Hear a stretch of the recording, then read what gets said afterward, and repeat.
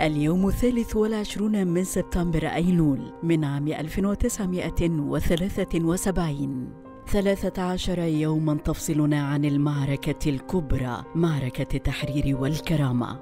وفي ذلك اليوم يظهر احتفاء الأخبار والأهرام بقطع الدول الإفريقية علاقتها مع إسرائيل. وهناك في أمريكا يحاصر الرئيس نيكسون في فضيحة ووترجيت فيما يتهم مندوب إسرائيل لدى الأمم المتحدة ألمانيا الشرقية بتدريب وتجهيز وتمويل الفدائيين العرب الذين يعملون من أراضيها.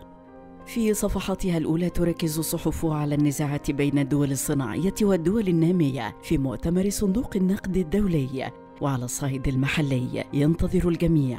ما سيعلنه الرئيس. حيث نوهت الصحف بخطاب بالغ الأهمية يوجهه الرئيس السادات إلى الأمة في ذكرى وفاة عبد الناصر يوم الجمعة الموافق الثامن والعشرين من سبتمبر أيلول. وعلى هامش هذا الخبر تنشر الصحف تفاصيل لقاء السادات بالمفكرين والساسة الذين اشتركوا في جلسات الاستماع في مجلس الشعب.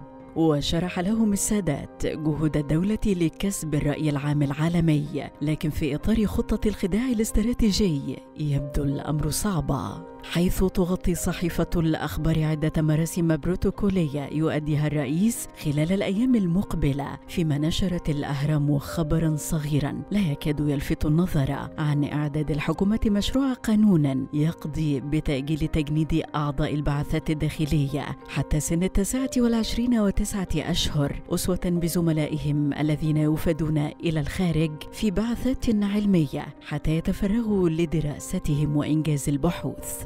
وفي الشأن الفني أوردت الأهرام والأخبار إحياء المطرب محرم فؤاد حفل أضواء المدينة بصحبة الفرقة الماسية بقيادة المايسترو أحمد فؤاد حسن في دار السينما قصر النيل. سلامات سلامات سلامات. كما أعلن عن فيلم الزواج على الطريقة المصرية الذي تقوم ببطولته الفنانة تحية كاريوكا مع أبطال فرقتها الفنان عماد حمدي والفنان محمد نجم.